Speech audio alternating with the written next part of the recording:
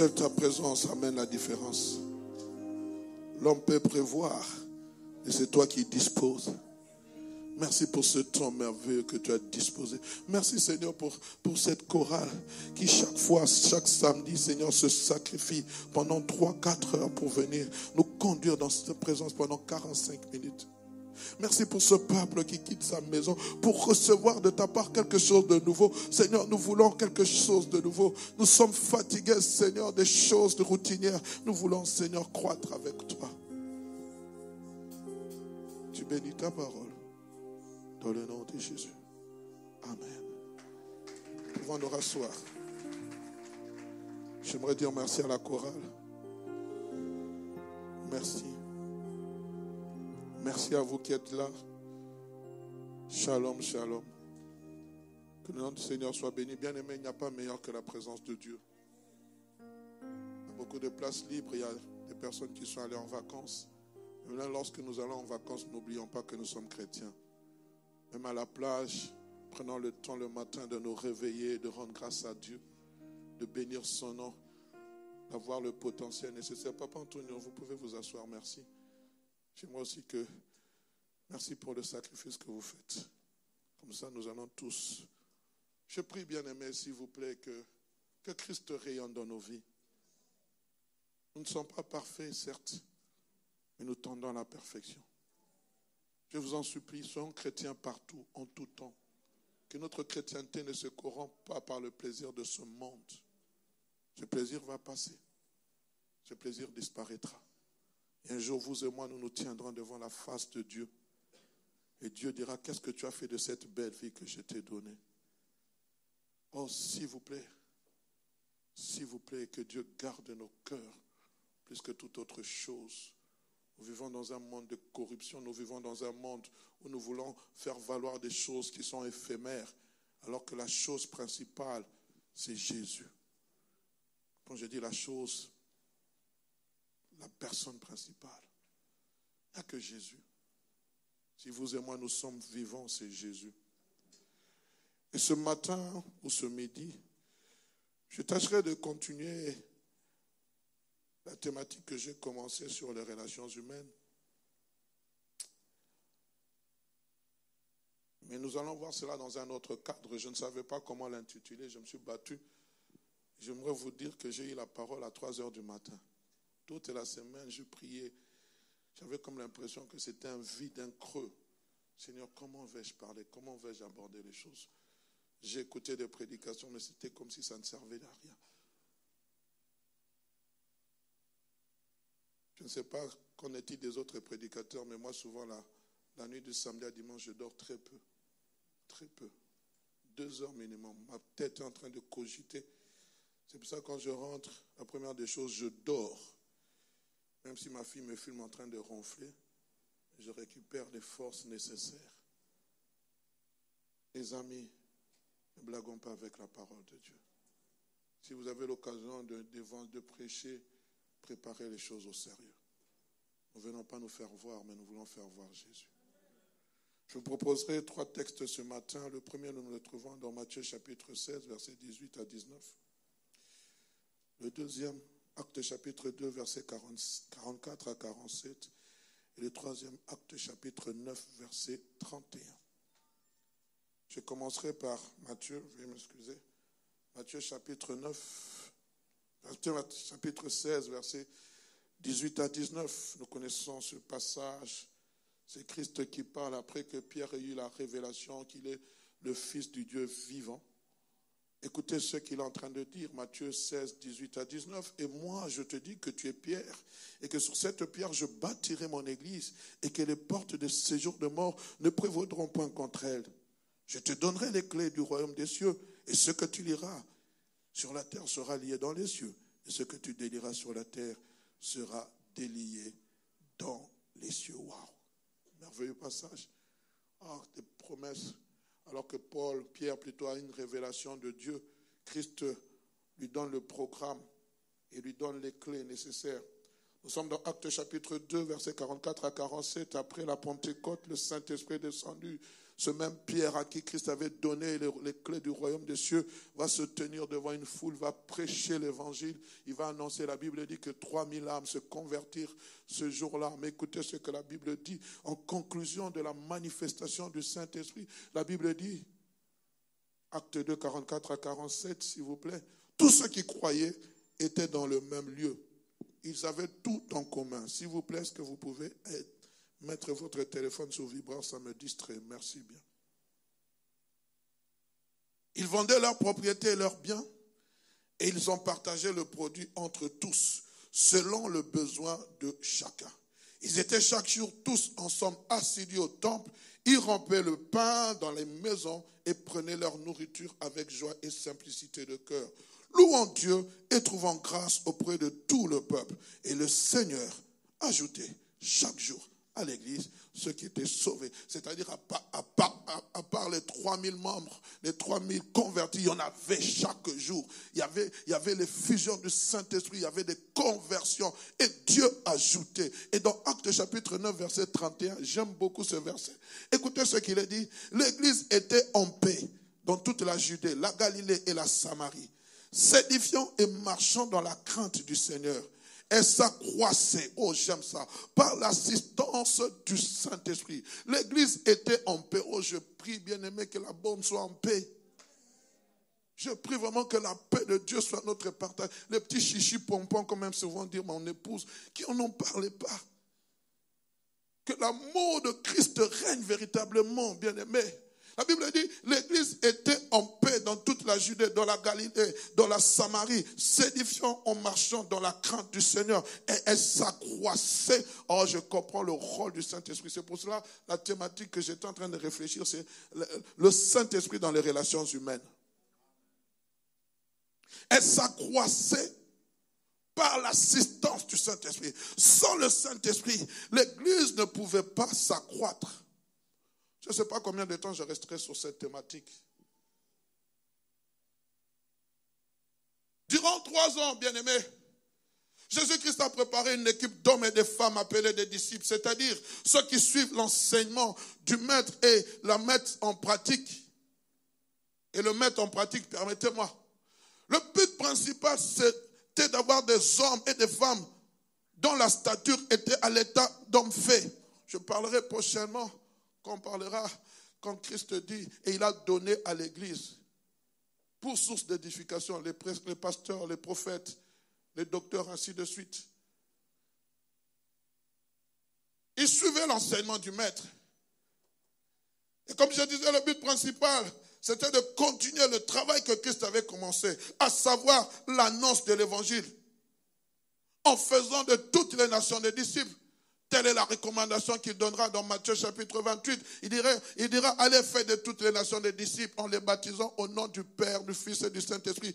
Enseignez-leur tout ce que je vous ai prescrit. Et voici, je suis avec vous tous les jours jusqu'à la fin des temps.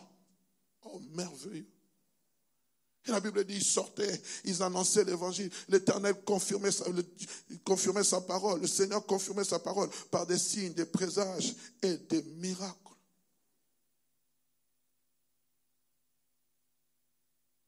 À la tête de cette nouvelle entreprise qui s'appelle l'Église, il y a un homme, Pierre, que nous retrouvons, Pierre, sur lequel une promesse a été faite. Je bâtirai mon Église. Et ce qui dit, les portes de séjour de mort ne, ne pourront point prévaloir contre elle. Pourquoi? Parce que la puissance du Saint-Esprit empêchera à ce que l'Église puisse s'éteindre. Oui, nous voyons des églises fermer les portes. Nous en connaissons quelques-unes ici en Belgique. Quand j'ai commencé ce travail, le Seigneur m'a dit, l'église de la Borne n'est pas une église comme d'autres. C'est une église que j'ai choisie parce que plusieurs m'ont déçu. Je ne savais pas ce que Dieu disait. Aujourd'hui, nous voyons des églises fermées, dont le déclin est en train de se faire. Pourquoi? Parce que nous avons plus laissé la place au Saint-Esprit. La chair a pris le dessus, le péché a pris le dessus. Oh, je prie, même si un jour je ne suis pas là, ne laissons jamais la place à la chair. Si vous voyez un homme se glorifier de ce qu'il est, bien aimé, je vous donne le droit. Vous direz, le, notre pasteur, le fondateur de la bande Bruxelles nous a donné le droit de te faire asseoir. Ici, ce n'est pas la chair. Ici, c'est l'Esprit de Dieu. C'est pour cela, ceux qui doivent passer ici doivent être des hommes et des femmes brisés dans la présence de Dieu, des hommes et des femmes remplis du Saint-Esprit, remplis de l'amour de Dieu. Du haut de la chair, on ne règle pas les conflits. La chair, c'est une source d'édification. On ne cherche pas une prédication pour régler les conflits. Si ton frère a péché, tu vas le voir, tu parles avec lui et non pas le prêcher du haut de la chair. Je connais un prédicateur qui disait, tu blagues avec moi, je vais te prêcher. C'est honteux.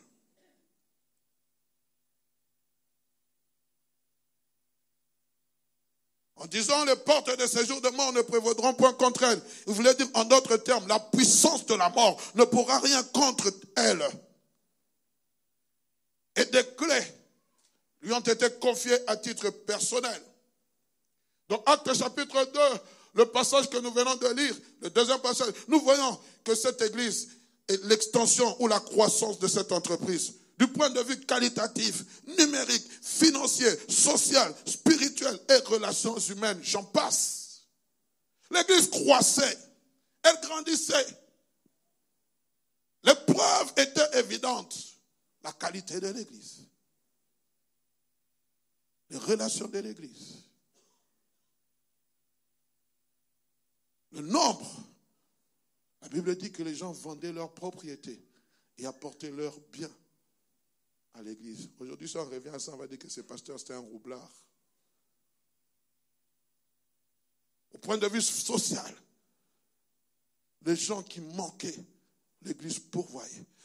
Je pense aussi que l'église doit revenir à ses premières choses, ses premières choses, le social.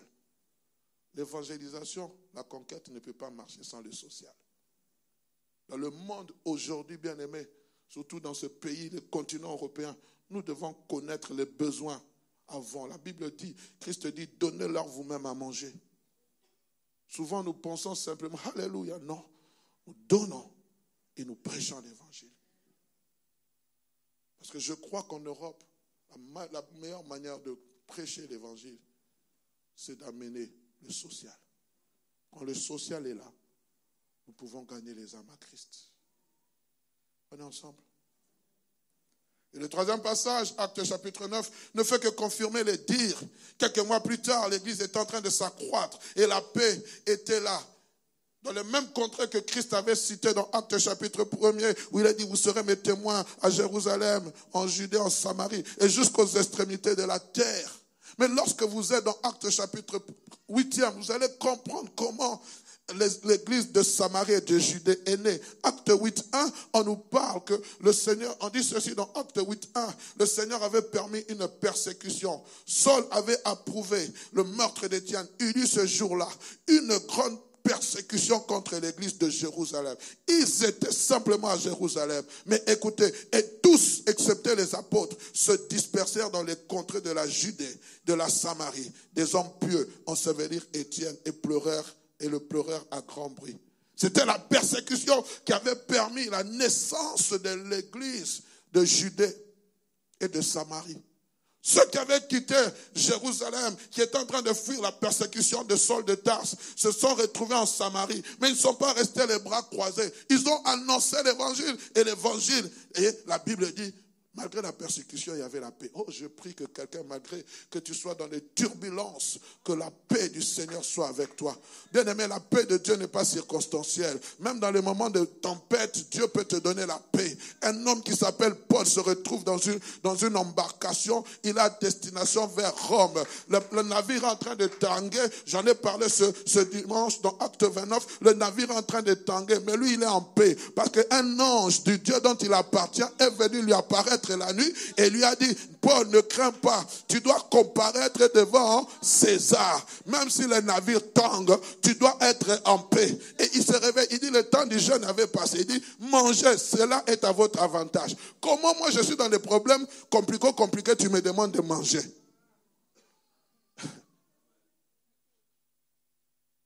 Lisez la parole de Dieu. Pendant que toi tu es en train de gêner, Dieu te dit de manger. Ah, mais j'ai des problèmes. Que... J'aimerais vous dire, les jeunes ne règlent pas les problèmes.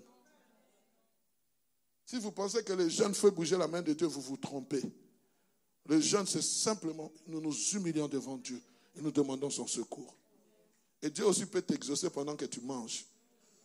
Et ce n'est pas dit que le vendredi, puisque nous avons dit qu'il nous devait gêner, vous voulez manger. Non. Comprenez? Je me souviens, il y a quelques années, on avait décidé de faire trois jours à sec. Et le deuxième jour, le Seigneur parle par une jeune sœur, une jeune sœur. Nous, les hommes spirituels, il passe par nous. La jeune sœur dit, Dieu m'a dit qu'on arrête les jeunes. Il a déjà exaucé. Nous, on a dit, ah, dit. Nous devons continuer à se projeter trois jours. On a continué à prier. On était devenus lourds. On a compris que Dieu voulait qu'on arrête et qu'on mange. On a mangé. On n'a pas péché. Amen. Dieu peut t'exaucer avant la fin de ton programme. On est ensemble Je peux continuer Alléluia, bien-aimé. Que désirer de plus? L'église est en paix. Nous sommes en mode conquête. Nous, avons conquéri la Samarie et la Judée. Dieu au contrôle de toutes choses. Mais j'aimerais dire une chose, si les apôtres étaient satisfaits de la progression de l'évangile, le cœur de Dieu ne l'était pas. Dieu s'attendait à plus.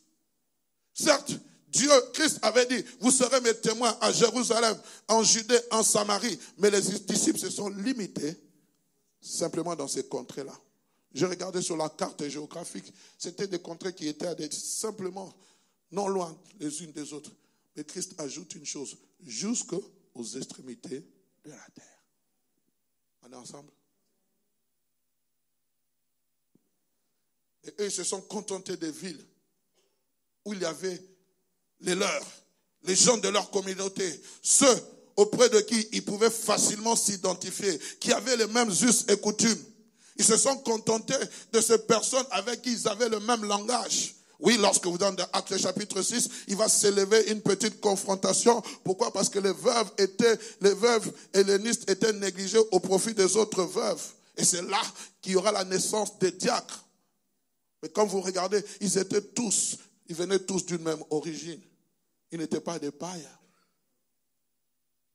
J'aimerais que vous me suivez attentivement. La Bible dit que l'Église était en paix. Nous sommes dans Acte 9. Et nous entrons dans Acte 10 et c'est là où j'aimerais vraiment nous centraliser. Nous n'aurons pas le temps de lire tout le passage, mais j'aimerais que vous puissiez comprendre. Alors qu'ils se contentaient de cela, dans Acte chapitre 10, que va faire Dieu? Dieu voudra briser une barrière de stéréotypes. Il voudra changer la manière des us et coutumes. Parce que ces personnes qui étaient là, Pierre rempli du Saint-Esprit, malgré qu'il avait accepté Christ comme Seigneur et Sauveur, il avait ses stéréotypes, il avait sa façon de voir les choses. Depuis son enfance, il a grandi comme cela. Il savait que ces choses ne changeaient pas, mais Dieu voulait amener un bouleversement. Dieu voulait amener une innovation. Comment pouvait-il annoncer? Il a dit, c'est à toi, Pierre, que j'ai remis les clés du royaume des cieux. Alors il faut que je booste ta façon, je modifie ta façon de voir les choses. Vous allez comprendre où est-ce que je vais en venir. Que va faire Dieu? Il va briser ce stéréotype en se servant toujours de cet homme qui avait ouvert la porte du ciel aux Juifs. Mais cette fois-ci, c'était pour une autre catégorie de personnes, les païens. Parce que j'aimerais vous dire, quelquefois, bien aimés, ces stéréotypes constituent une barrière à l'évangile. Nous sommes tellement à l'aise entre nous que nous fermons la porte aux autres. Nous avons créé notre staff staff de la jeunesse congolaise de la borne Bruxelles. Ça n'existe pas au nom de Jésus. Le jour où nous on a été reconnu comme une église des assemblées de Dieu, le président qui nous présentait nous a dit, voilà, nous sommes contents d'accueillir une église africaine qui rejoint les assemblées de Dieu. J'ai pris le micro, j'ai dit, nous ne sommes pas une église africaine, nous sommes une église multiculturelle. Moi, je ne m'identifie pas comme étant africain. Je m'identifie comme étant enfant de Dieu. Parce que si je m'identifie comme étant africain, je ferme la porte aux autres. Et par conséquent, l'évangile ne progressera pas. Oh, je serais content de me retrouver entre mes frères, entre nous, de la même race, de la même origine. Mais là, je n'accomplirai pas la volonté de mon Père spirituel. Le jour où il m'a remis les papiers, il m'a dit, frère, j'espère que vous n'allez pas rester entre vous les Congolais, que vous devez gagner les autochtones à Christ. Et j'aimerais accomplir cette vision avant de quitter cette terre. Ce n'est pas facile, mais c'est possible. Impossible n'est pas du domaine de Dieu.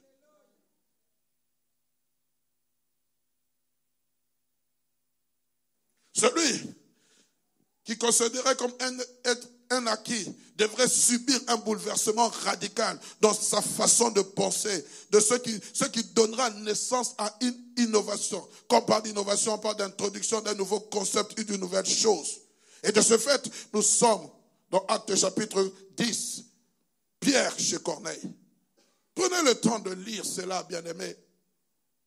J'ai divisé ce passage en trois étapes cruciales. On dit une étape. Non, j'allais dire cruciaux. Crucial.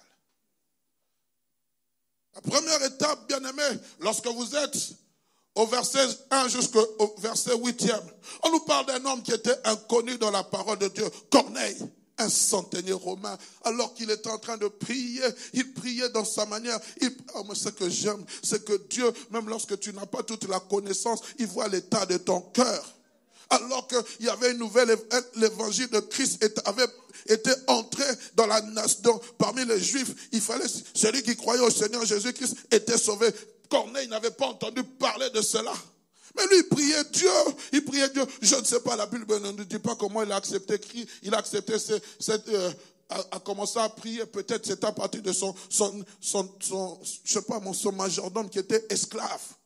Mais la Bible dit une chose. Un jour alors qu'il est en train de prier,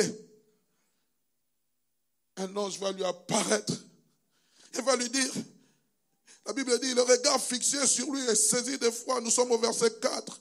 Il répondit, qu'est-ce Seigneur? Et l'ange lui dit, tes prières et tes aumônes sont montées devant Dieu et il s'en est souvenu. Tes prières et tes aumônes. Il va donner un ordre. Dit, prends tes serviteurs. Va dans la ville qu'on appelle Jopé. Jopé. Tu vas trouver un homme qui s'appelle Pierre. Demande-le de te suivre. Wow! Corneille va obéir. Parce qu'il avait une vision, une révélation. Je suis fatigué de ces révélations qui n'édifient pas. Aujourd'hui, on a des révélations pour montrer que nous avons, nous sommes des révélateurs. Dieu m'a parlé. Et quand Dieu vous parle, vous tournez les yeux, vos yeux deviennent blancs. Ça change quoi? Vous prenez un air, vous, vous entrez en transe. Parce que Dieu peut te parler, il peut te parler calmement comme ça pendant que tu, tu es en train de dire, voici, ainsi dit le Seigneur. Vous savez, prenez-moi, ça c'est un problème culturel. Il y a quelques années, je suis allé prêcher dans une église à Charleroi. Un jeune garçon de 10, 15, 17 ans. A commencé à donner une parole de connaissance. Frère, ah, calme. calmement. Mais la parole est sortie. Et le Saint-Esprit a testé à mon cœur que ce qu'il disait était la vérité. J'aurais été ce même garçon dans le corps d'une femme africaine. Je dis la vérité. Il faut qu'on vous dise. Pourquoi? Parce qu'il y a toujours, comment on appelle ça? Un background culturel. On pense, oui, on pense que pour que Dieu parle, il faut toujours qu'il y ait des. On bouge, non. Dieu peut parler calmement, il fait sortir sa parole. Tout est question de background. Je vous dis la vérité. Je ne suis pas là pour vous moquer de, me moquer de vous mais pour vous dire la vérité. Et je pense qu'il faut enseigner le peuple de Dieu. Parce que vous, vous allez faire cela. Un autochtone vient, il vous voit entrer, entrer en transe. Il va dire, je suis où? Qu'est-ce que je fais ici? Amen. Mais si tu sais maîtriser tes sentiments, tes émotions, tu peux le toucher par ta façon de parler. Je parle à quelqu'un. Je ne suis pas là pour, pour me moquer de quelqu'un, mais je suis là pour dire les choses qui sont. J'ai fait des études sur ça. Je me suis dit, c'est un problème culturel. Dieu peut te parler, tu es calme. Il te parle, tu libères le message. On est ensemble Désolé si je vous ai choqué, mais c'est la vérité. Nous sommes en train de préparer l'Église à des nouvelles dimensions. Quand tu sens que l'Esprit veut te saisir, tu dis Saint-Esprit, tu peux aussi agir dans le calme, non? Parle-moi calmement. Je n'ai pas envie qu'on vienne me mettre un pagne autour de, de mes reins. S'il te plaît, parle-moi calmement. Il peut le faire. Et tu vas sentir que Dieu t'utilise sans pour autant faire trop de chichi pompon. Je peux continuer. Il va recevoir l'ordre de faire venir Paul. Et la deuxième étape, la Bible dit au verset 9 jusqu'au verset 24, j'ai voulu me limiter au verset 15, et nous allons voir Pierre qui va décider d'aller prier. Malgré qu'il avait faim, il monte sur le toit de la maison pour prier. Et pendant qu'il prie, il tombe en extase. Lui pensait que c'était la fin. Et il va avoir une vision. Une nappe remplie de, de, quadrupères, des animaux impurs. Et le Seigneur qui va le dire, tue et mange. Wow! Et il savait que c'était Dieu qui le parlait. Il a dit, je n'ai jamais mangé rien de souillé ni d'impur. Il est en train de rappeler à Dieu que les aliments que tu veux que je mange, ce sont des aliments qui sont impurs. Et la loi de Moïse nous interdit de manger des animaux impurs. Mais écoutez, au verset 15, Dieu lui répond, ce que Dieu a déclaré pur, ne le regarde pas comme souillé. Wow! C'est puissant. Seigneur, qu'est-ce que tu veux m'apprendre? Depuis que moi je suis né, depuis comment enseigner la loi de Moïse, depuis mes pères, mais tous n'ont jamais mangé des aliments impurs. Quand je lis les, livres de Lévitique, tu nous interdis ces choses.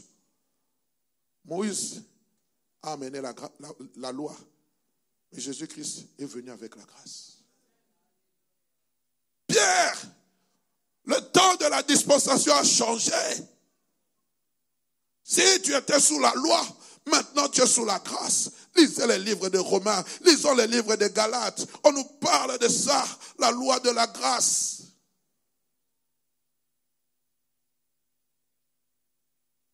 Tout a changé. Mais Pierre avait du mal à accepter ces choses.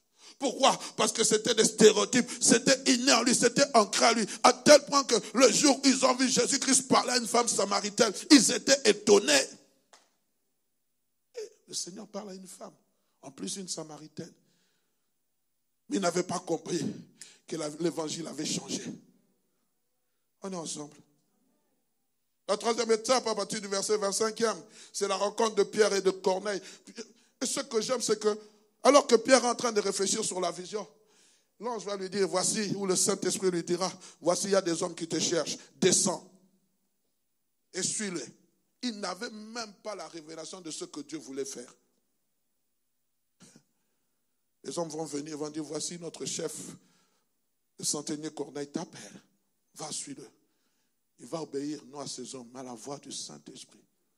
Il va entrer en relation avec des personnes qui, selon lui, étaient souillées. Arrivé dans la maison de Corneille, je voudrais vous dire, cela n'était pas d'emblée simple à Pierre d'obéir à Dieu. Mais ce que j'aime, c'est parce qu'en amont, il y avait déjà un travail qui avait été fait. Le cœur de Pierre avait été changé. Christ a pris, il a dit, Pierre, m'aimes-tu Peu mes brebis. Bien aimé, tant que nos cœurs ne seront pas changés, nous resterons avec nos stéréotypes. C'est pour cela dans l'église, l'église est un lieu de transformation des cœurs. Ça peut prendre 10 ans, ça peut prendre 5 ans, ça dépend de la volonté de la personne. Mais nous devons être patients. C'est un lieu de transformation. Ici, les gens viennent imparfaits et Christ les rend parfaits. L'homme que vous voyez ici prêcher, bien aimé. Si on m'avait pas donné l'occasion, à peine je me suis converti, j'arrive à la cellule. On dit, frère Hugues, tu vas nous partager ce que tu as médité. Et moi, on m'a fait confiance. Mais est-ce que j'étais parfait? Non. Est-ce que je suis parfait? Non. Il y avait encore beaucoup d'imperfections en moi. Mais tellement qu'on me faisait confiance, cet homme peut changer, cette femme peut changer. Frères et sœurs, faisons-nous confiance. La parole de Dieu est un marteau, bien aimé. Ça façonne nos cœurs. Oh, elle s'habille mal. Priez que Dieu transforme son cœur pour qu'il s'habille bien. Elle a un mauvais langage. Elle a vécu où? Il vient d'où? Tu penses qu'il vient peut-être d'une famille comme toi, tu as un père, une mère. Elle, peut-être, elle a appris le langage de la rue, ou il a appris le langage de la rue.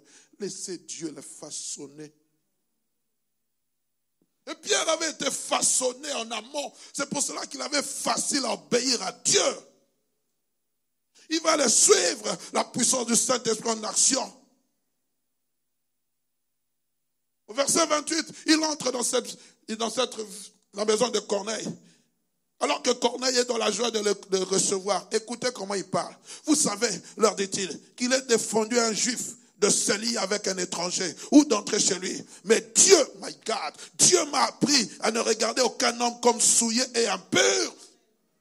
C'est Dieu c'était le langage de Dieu, je ne serais pas venu chez vous parce que moi, pour moi, je ne peux pas en tant que juif entrer chez les païens. C'est un sacrilège, c'est un blasphème. Moi, en tant que juif, je ne peux pas manger avec vous. Moi, en tant que juif, je ne peux même pas, mes pieds ne peuvent pas entrer. Je dois me préserver, je dois rester pur.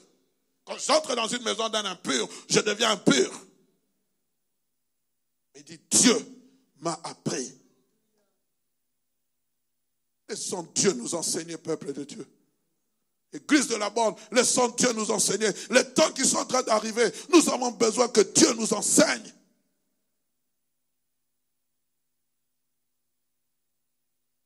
Nous sommes tellement meilleurs que nous pensons que les païens sont pires que nous. Mais nous tous, on ouvre nos cœurs, nous sommes pires que les païens. Hier, j'étais à une fête j'avais un voisin qui était alcoolisé. Il était en train de prendre une bouteille de, whisky. Je ne vais pas faire la publicité. Il m'a dit, pasteur, prenez, c'est du, du vin. Jésus-Christ a transformé là en vin. Je lui ai dit, non, j'ai envie de rester sobre pour ne pas faire des dégâts. Il a dit, mais c'est biblique. Il y a des gens qui vont mener à la fête. Mais je ne suis pas allé, je n'ai pas commencé à le condamner. J'ai commencé à lui parler avec ironie, en lui faisant comprendre. Je dis non, moi depuis longtemps, je ne prends jamais d'alcool, parce que l'alcool n'est pas pour moi. Et je n'ai pas envie aujourd'hui de, de me dénuder devant les gens. On a commencé à échanger, mais il était déjà dans un état second. Même quand je partais, il dit, mais il y a encore, il faut prendre. Ah Seigneur Jésus.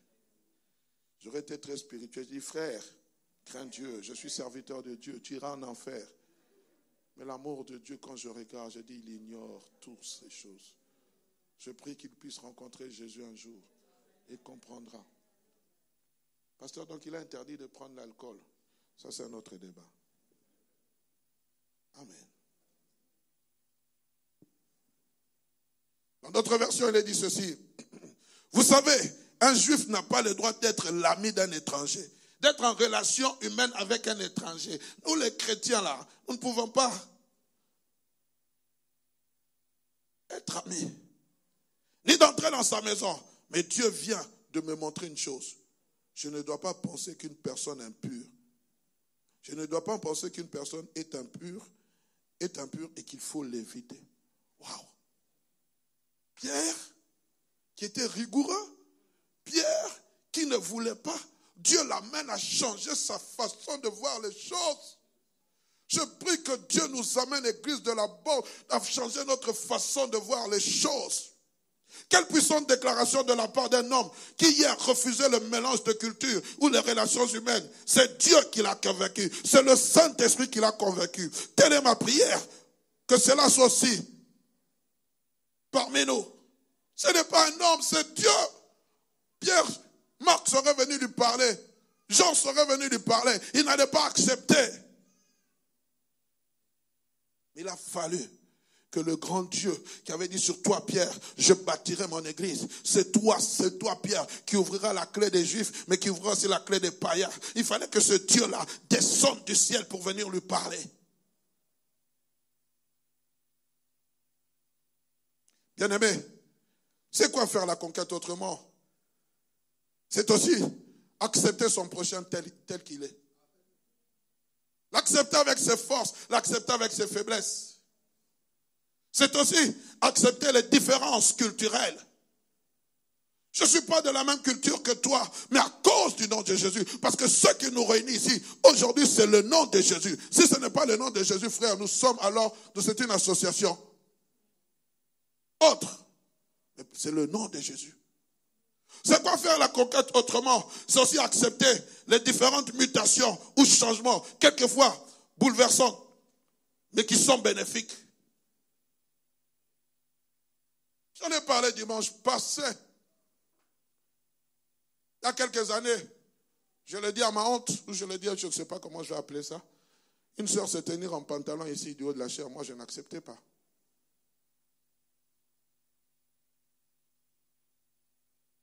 J'ai dû accepter différents changements.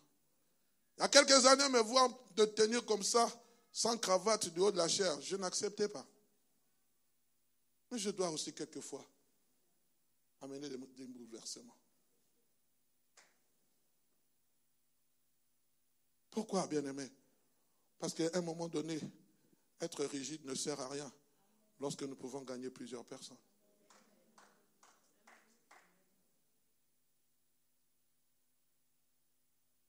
C'est quoi faire la conquête autrement? C'est accepter aussi des innovations qui nous permettront de mieux travailler. Mais c'est surtout, bien aimé, être sensible à la voix et à la conduite du Saint-Esprit. Parce que si nous faisons les choses selon la chair, alors nous allons échouer. Mais si nous faisons les choses selon l'Esprit, alors là, Dieu est glorifié dans tout ce que nous faisons. Le monde d'aujourd'hui est en pleine mutation. Si vous et moi, nous ne voulons pas nous adapter, nous allons risquer de passer à côté de ce que Dieu attend de nous. Et Dieu, qu'est-ce qu'il va faire? Il va susciter une personne qui sera sensible à savoir. L'Église doit s'adapter. Plutôt, l'Église doit adapter son langage et sa vision. Si hier, on n'avait pas Facebook, on n'avait pas YouTube, on n'avait pas Instagram, on n'avait pas TikTok, aujourd'hui, nous sommes obligés de l'avoir, vouloir ou pas. Est-ce que nous nous comprenons? C'est pour cela, frères et sœurs, ne pensez pas que lorsque je suis en train de prêcher comme ça, à la fin du culte ou quelque chose, vous allez voir l'équipe d'audiovisuel. Pasteur, tu n'aurais pas dû dire ça. Tu n'aurais pas dû dire ça. Pourquoi? Parce qu'on nous suit. Tu aurais pu améliorer telle chose. Parce qu'aujourd'hui, l'évangile entre dans des maisons, quelquefois qui nous ne désirent pas. Tu vas te tenir d'ici, tu parles du charabia du matin au soir, tu es dans ta langue vernaculaire. Comment nous allons atteindre les autres? Aujourd'hui, ce n'est plus seulement entre ces quatre murs que l'évangile est prêché, c'est en dehors. Je me tiens depuis une semaine, depuis cinq jours, de 23h, 22h30 à 23h30. Une fois, je vois quelqu'un qui m'appelle des États-Unis un pasteur, je le raconte. Il a dit, pasteur, priez pour moi. Il avait donné la requête des États-Unis. À la fin du culte, il m'appelle, il me dit, pasteur, j'étais en train de déprimer. J'étais en train de parler seul. J'étais en train de marcher sur la route. Et puis je suis rentré au campus universitaire, j'ai laissé ma femme et ma fille au pays, mon, mon enfant au pays. J'étais en train de rentrer au campus universitaire, je me suis assis et j'ai regardé mon téléphone, je suis tombé comme par hasard sur votre temps de prière. Et j'ai envoyé ma requête. Pasteur, j'aimerais que le Seigneur vous bénisse. Moi, je suis pasteur d'une église méthodiste. J'ai commencé à lui raconter ma vie quand je suis venu ici en Belgique. Et cela l'a fortifié. Mes amis, vous ne savez pas ce que fait l'évangile à travers les réseaux sociaux. Nous ne savons pas ce qu'un mot peut modifier, peut transformer. Je vous en prie, s'il vous plaît, utilisons les réseaux sociaux pour faire valoir Christ.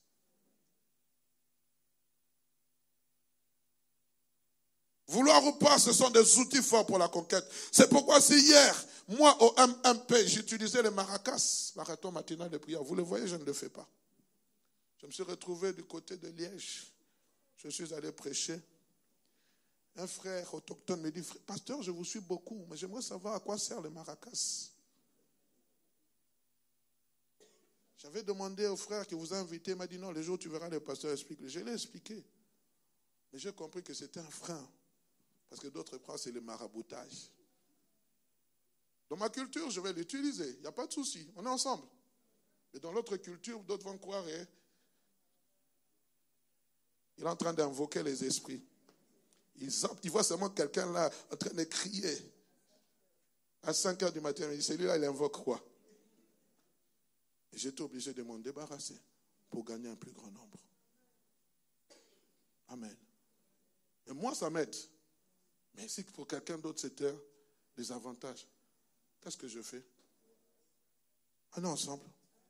Pierre dit, Dieu m'a appris à regarder. C'était le langage d'une nouvelle saison, d'une nouvelle relation humaine, où il était obligé de s'adapter, car cela ne dépendait pas de lui, mais de Pierre, plutôt de Dieu.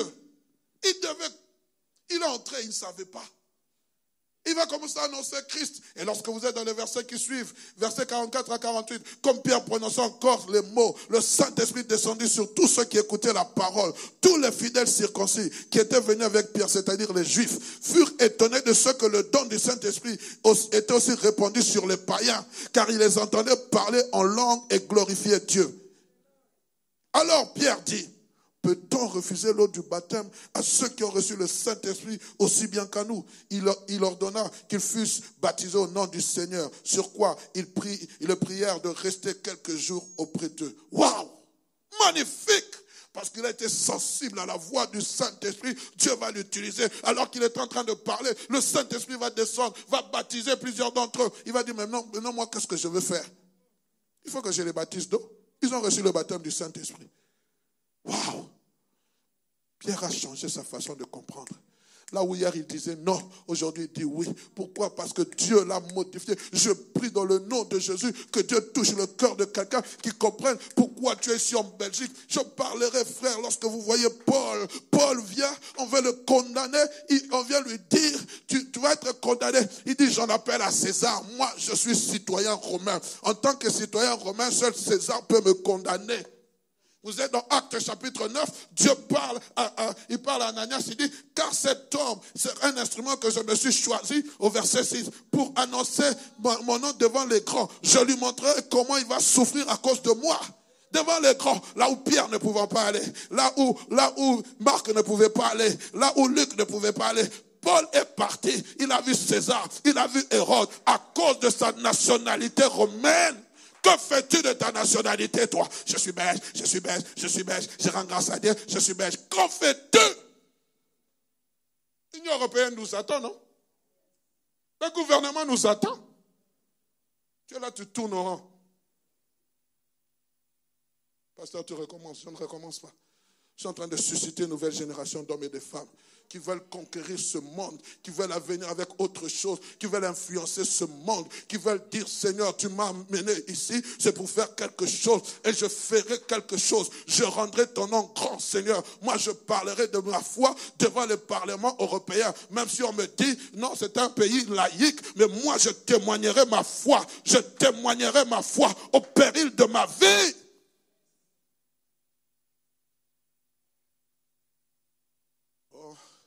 Nous récupérons la dette coloniale. Ça fait combien de temps que la dette coloniale est passée? Tu fraudes au métro, c'est toujours toi. Les choses honteuses, c'est toujours toi. Bien-aimé, ne rions pas. Ça fait mal. Ça fait mal. Moi, je suis contre les fainéants. Je n'accepterai jamais d'être fainéant. Jusqu'à mon dernier souffle, Dieu me donnera la capacité de faire ce qu'il m'a appelé à faire. Qu'est-ce qui fait que de nos jours, les églises ne sont plus efficaces? C'est la peur du changement. C'est la peur, le refus de l'adaptation, le refus de l'innovation, le refus de la culturation. C'est-à-dire le processus par lequel une personne ou un groupe de personnes s'assimile à une autre culture étrangère que la sienne.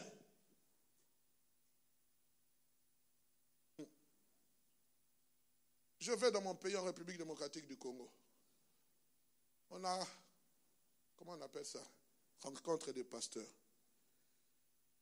Une maman pasteur se lève et dit, mais vous, les Congolais en Europe, vous avez oublié même votre culture. Ah. On ne pouvons même plus porter les pannes. J'ai dit, maman, venez porter les pannes en hiver.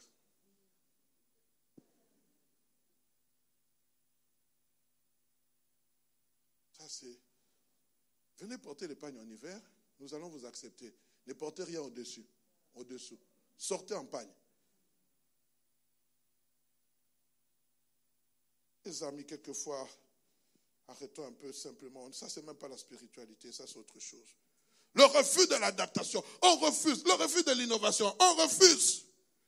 On ne veut pas s'acclimater, à se, mélanger avec notre culture. On refuse. Regardez même la plupart de nos plats. Aujourd'hui, qu'est-ce qu'on va manger? Des spaghettis. Moi, j'ai besoin de sentir là, le mélange là de la pâte. J'ai besoin de malaxer. Avec cette chaleur-là, tu es en train de malaxer. Encore nos maisons ne sont pas climatisées. Tu as enlevé la chemise, tu es resté avec ton petit sanglé, avec le ventre bédonnant. Tu es toujours en train de malaxer, même pendant qu'il fait chaud. Non, chérie, j'ai fait une salade aux endives. Au quoi?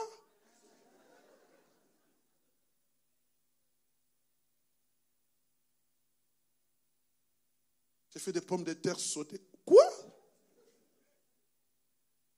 Moi, j'ai besoin de chomba quoi? Chomba quoi? Ah, J'ai besoin de ces choses-là. Sentir. C'est pas mauvais, hein? Moi aussi, j'aime ça de temps en temps. Amen. Parce que j'aimerais aussi quand j'invite quelqu'un qui puisse goûter à ma culture. Et quand tu as l'occasion pour garder une âme, Maintenant, on vous met les cuisses de grenouilles. Jésus, aide-nous. Si pour l'évangile on doit le faire, on le fera. Le pasteur Vernon arrive quelque part dans un pays, dans une région, chez des pygmées. Il veut prêcher l'évangile. Ils disent, nous, quand nous recevons des invités chez nous, on vous présente, je ne sais pas quel type d'animal, mais c'était vraiment il a dit pour l'évangile, été obligé de manger ça. je ne sais pas si c'était le chien ou quoi. Mais il été obligé de faire ça afin de prêcher l'évangile. Tout est prêt avec action de grâce.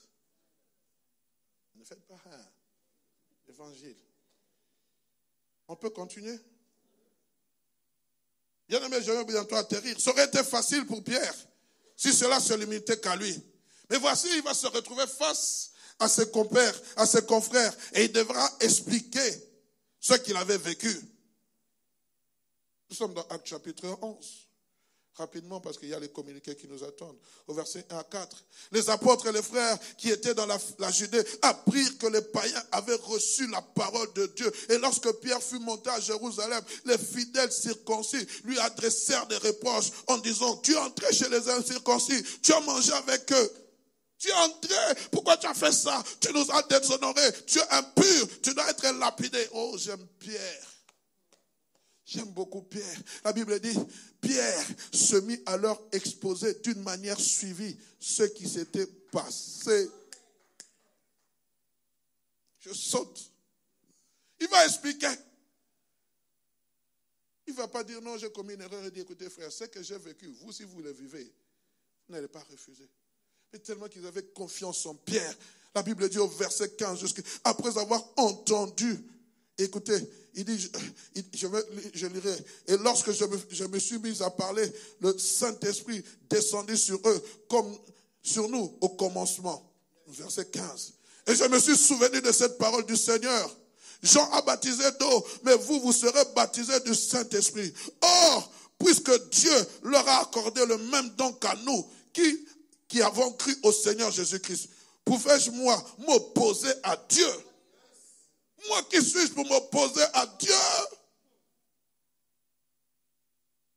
Après avoir entendu cela, ils se calmèrent et ils glorifièrent Dieu en disant, Dieu a donc accordé la repentance aussi aux païens afin qu'ils aient la vie. Et à partir de ce passage, vous allez voir, le Saint-Esprit va commencer à prendre Philippe, il va commencer à prendre, à Saul de Tarse, aller annoncer l'évangile aux païens. Pourquoi? Pierre avait la clé d'ouverture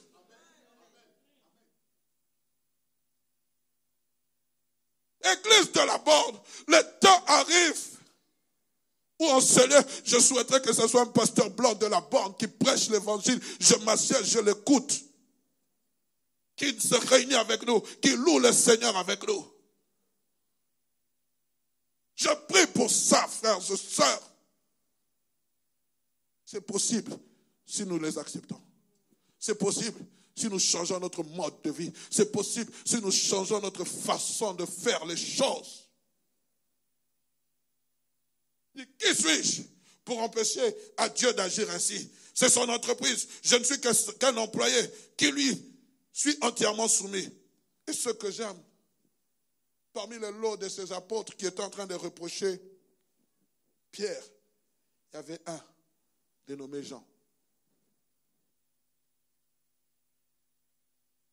Mais Jean aura le privilège de voir le travail qu'a fait Pierre.